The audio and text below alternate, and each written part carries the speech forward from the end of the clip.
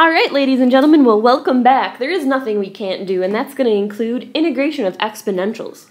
So I'm going to dive right in here, and I'm going to start with just a little review of derivative of exponentials before we start integrating. So you'll hopefully recall that the derivative of e to the x, we've probably guessed it, remember the derivative of e to the x is just e to the x. Now, it's usually not that straightforward. They usually have some junk up in this exponent, and we have a new rule for that. We said the derivative of e to the u is e to the u times the derivative of the exponent, so times du. And I'm going to box that in. That's the one you see on the fun quiz all the time. e to the u times du. So like I said, before I go on with integrals, I'm going to do just a couple examples of some derivatives. So let's say I wanted to take the derivative of e to the 4x squared plus 2. So go ahead, try it on your own, and we'll compare in a few seconds. So I'm thinking it's e to the u, so I'm going to leave it alone, and then multiply by my derivative of the exponent, so times 8x. And when you clean it up, we just pull that constant out front, 8x e to the 4x squared plus 2. You've got your answer. Uh, let me throw one more at you. Let's say we wanted the derivative of, let's say x e to the sine x. So I feel like I've done a great job all year of saying, read it out loud. And some of you I've probably said it to a million times. Before you take a derivative, read it out loud. To me, this says x times e to the sine x. And when you say that word times, we better be going product rule. So again, pause me, try it on your own, do your product rule, we'll see if we get the same thing. So I'm saying first derivative of the second plus the second derivative of the first. So really times 1. Now again, you could have this in the complete opposite order, which is equivalent. Um, so it was first, derivative of the second mean kept this, and the derivative of the exponent. And now I'm just going to clean it up a little. I see a GCF of e to the sine x, so I'm going to pull that out front. e to the sine x, and then I'm left with x cos x. And there's not nothing left over. Don't forget there's a plus 1. We've got our answer there. So hopefully a nice, easy review of derivatives of exponentials. All right, well, let's go ahead and dive into some integrating. Now recall, the derivative of e to the x was e to the x, therefore the integral of e to the x must be, well, who did you take the derivative to get e to the x? e to the x. Now don't forget when you integrate, and this is an indefinite integral without bounds, you have that lovely, lovely annoying plus c. And there's our rule. Now, just like derivative, you might have some junk up in this exponent, we're going to do the same thing with integrals. So I'll throw a u up there. If I say the integral of e to the u du, I get e to the u plus c. Probably the most important thing is, if you have any junk up there, because you need a chain rule to take its derivative, you're going to need u sub to integrate. And kind of a rule of thumb, I would say 99% of the time, um, we can pick the exponent as our u. Now again, I said 99% of the time. That doesn't mean every time, but most of the time I would say our exponent as our u would work out just fine. So let's go ahead and give uh, an example or two a whirl here. Number one, the integral of e to the 3x plus 1 dx. Now, I don't know who to take the derivative to get that answer, so I'm going u sub right away. Take the exponent as your u, and remember, show this work off to the side. If you can start to do it in your head, that's pretty amazing. Um, and, and it's encouraged if you can do it in your head, but I'm going to show some work here. Take its derivative. Derivative of 3x is just 3 dx.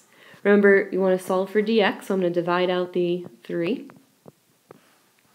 So I get du over 3 equals dx. Now it's called u sub for a reason. We took care of the u, now here comes the sub. I'm going to take what I just got and put that in place of dx. So I'm going to say this is the integral of e to the u, and in place of that dx, I'm putting du over 3. All right, so I'm going to clean it up one more step, just like we did with the other u's, um, u subs. I'm going to pull out the 1 third and integrate e to the u du. And just like we said, the integral of e to the x is e to the x, the integral of e to the u is e to the u. So I've got that one-third coefficient, e to the u plus c. And I'm going to go one step further and clean it up. Oh, baby. I'm going to substitute my u back in, which was this 3x plus 1 up here. So I'm going to say my final answer is 1 third e to the 3x plus 1 plus c. And there you have it. Just a nice simple u sub. So we're going to do a couple more nice ones before we get to that 1% of the time where it doesn't work for us as the exponent. So number 2 the integral of 5x e to the negative x squared dx. Alright, so, I mean, if you think you've got it, it really is just a simple u sub. Go ahead, pick your u, take your du, compare it with mine, and substitute it in. So like I said, pause it, try it on your own.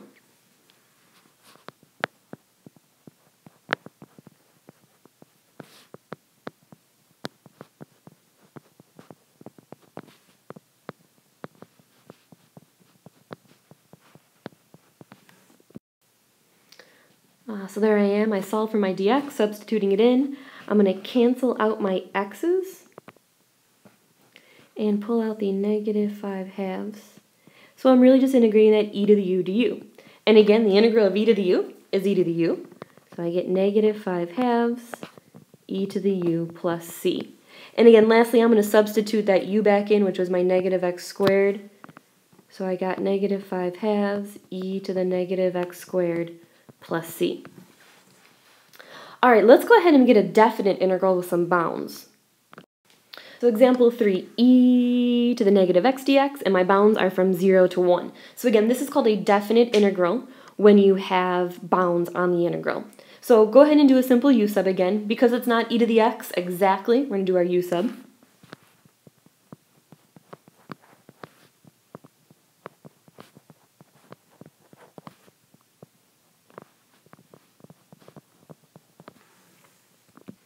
So you notice I'm just getting negative du is equal to dx. So when I substitute that in here, uh, I've got my negative du, and I'm just going to pull out the negative. Now notice I did not put bounds on it because these bounds that I have here correspond with the variable x. That's the variable in the problem. 0 and 1 go with x. And just like we did before, I have u, so I need to get my u bounds. So to get those u bounds, I'm going to take this 0 that I had and plug it into u. So u is equal to negative 0, which of course is just 0. So that's going to be my lower bound. And I'm going to do the same thing with this 1. I'm going to plug that into my u. So I'm going to get negative 1. So my upper bound becomes negative 1.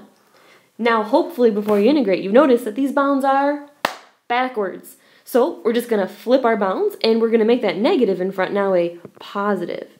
So I'm going to integrate from negative 1 to 0 of e to the u du. So if I keep going here, oh boy, where'd it go? Oh no. Uh, oops, I just lost it completely. Uh, I think I had uh, negative 1 to 0 of e to the u du. So when I integrate that, I just get e to the u, plug my bounds in, negative 1 to 0, upper minus lower.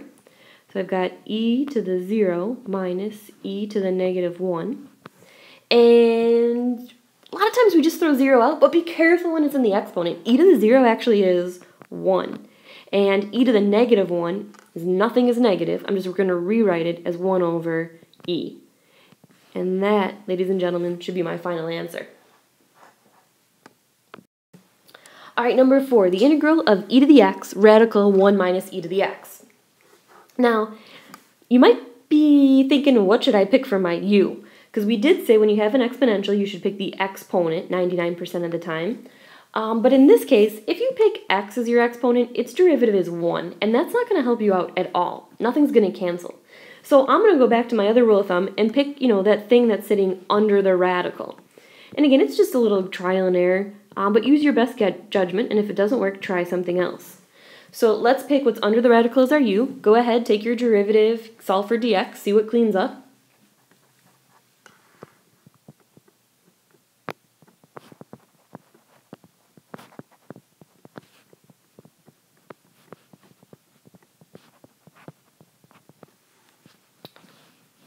Hopefully you've got something similar. I'm going to sub that back in. So I've got e to the x, square root of u, du over negative e to the x. Now, very conveniently, those e to the x's are going to cancel. Uh, don't forget to pull out this negative. So I'm going to say I have negative integral u to the 1 half du. Now notice, even though this problem started off with e's, when I integrate, I'm not actually even integrating an e. I'm integrating u to the 1 half. So I get u, add my 2 over 2, so I get u to the 3 halves, either divided by 3 halves or times 2 thirds, I'll leave that negative out front, plus c. And my last step there, I'm just going to plug that original u back in. So negative 2 thirds, 1 minus e to the x to the 3 halves, plus c. Alright folks, stay with me. I've got just two more left for you tonight. So hopefully a nice easy night. So this is at 1% of the time here again where we can't use the exponent as our u. So again, if you picked x as your u, even if you pick this x, its derivative is 1, which is not going to help you at all. So you got to go bigger. So I'm going to go back to that idea where I'm going to pick the term sitting in the parentheses. Okay, and again, if you don't see it at first, that's okay. Pick what you think, try it. If it doesn't work, try something else. So we know our u should be e to the x. So again, take a minute, pause it, try it on your own, see how far you can get, hopefully not too bad, and check back with me in a few minutes.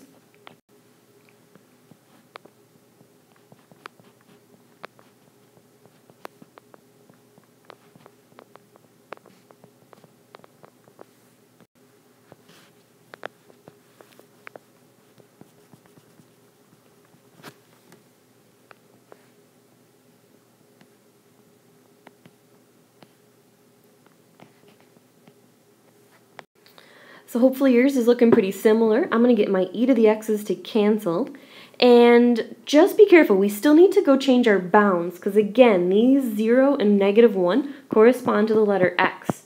So to change your bounds, just plug them into x in this u equation. So let me kind of circle that. I'm going to take this negative 1 and put it in this equation.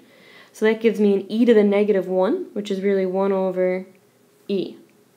I'm going to do the same thing with 0 and plug it into this equation, I get e to the 0, and anything to the 0 is just 1. Alright, so watch those bounds. So if I clean this up a little, I'm really just integrating from 1 over e to 1 cosine of u du. So again, this is another example where we started with e's, and in the end, we're not actually integrating the e, we're integrating the cosine. So just talk backwards to yourself. Who do you take the derivative of to get cosine? Hopefully you've guessed it, that would be a positive sine of u from 1 over e to 1. So I don't need the plus c because I have this definite integral. And I'm just going to do upper minus lower. So I'm going to get the sine of 1 minus, oops, the sine of 1 over e. Now these aren't values you know, so it's good enough just to leave it like that. All right, we did it. We've made it to the last problem of the night. Um, and you'll notice here we've got the integral of 5 minus e to the x over e to the 2x. So right away I see no bounds, so I'm going to make sure I have a plus c on the end of this answer. So we've got a couple choices to choose from here. If you try to pick this 2x as your u, we'll take its derivative in, its, in your head. Derivative of 2x is just 2. Is that really going to cancel with anything? I don't think so. Um, now I could use e to the 2x. I'm not really sold yet. What I hope is going through your head is that idea that there's one term on the bottom. All right, so I would make like a beaver and split. I think that's going to be the easiest thing. All right, one term on the bottom. So I'm going to rewrite this as 5 over e to the 2x minus e to the x over e to the 2x dx. And it looks like I was missing my dx there. Alright, now again, before I integrate, I'm going to clean it up again. So I'm going to say this is really 5e to the negative 2x minus e to the x over e to the 2x. Remember, when you divide, subtract the exponents. So that's going to be e x minus 2x is negative x dx. Alright, so I'm going to go ahead and I'm going to do two separate u subs here. I'm going to split this up and I'm going to do a U sub for this one and a U sub for this one here. So again, I'm just going to do lots of little steps. I'm going to pull my 5 out, e to the negative 2x dx, minus, I'm going to integrate this guy on its own. So I'm going to say my u is negative 2x, my du is negative 2, so I get du over negative 2. So I've got 5e to the u du over negative 2. And I'll keep scrolling up here.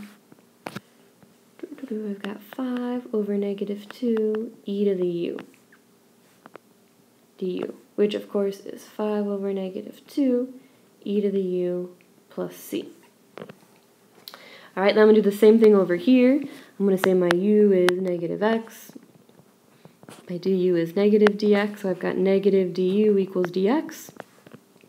So I've got the integral of e to the u negative du.